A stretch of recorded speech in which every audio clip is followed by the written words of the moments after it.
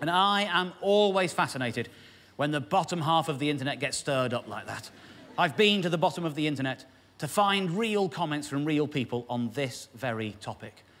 I've turned those comments into something that I like to call a found poem, which I would like to perform for you now. Myleene is, as always, 100% correct about this situation. Whomsoever wrote that letter should be made to issue a public apology. If you ask me, she has just taken an innocent suggestion and twisted it spitefully to get some more media points. It's like that white bikini all over again. Myleene Klass? Myleene no class, more like. By which I mean she has no class. this story is obviously made up. No real child would ask for a desk. My kids are 44 and 47, so this doesn't apply to me. Lol. They say that if you don't ask, you don't get. But it doesn't follow that if you do ask, you do get. I guess the facts are that if you ask, you sometimes get. Which is really the point of the saying.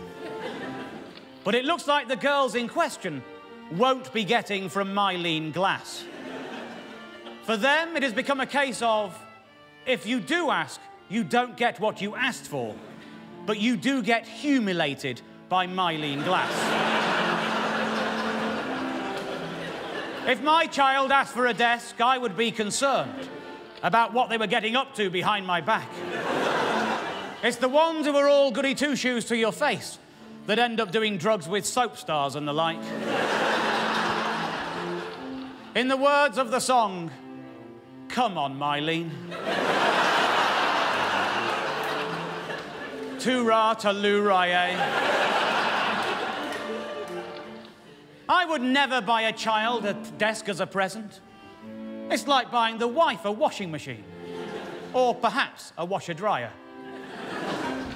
Myleene made her name in the band Hear'Say. Well, I've got some hearsay for you. Bog off, Myleene. that isn't hearsay. That isn't what hearsay means. But yes, bog off, Myleene.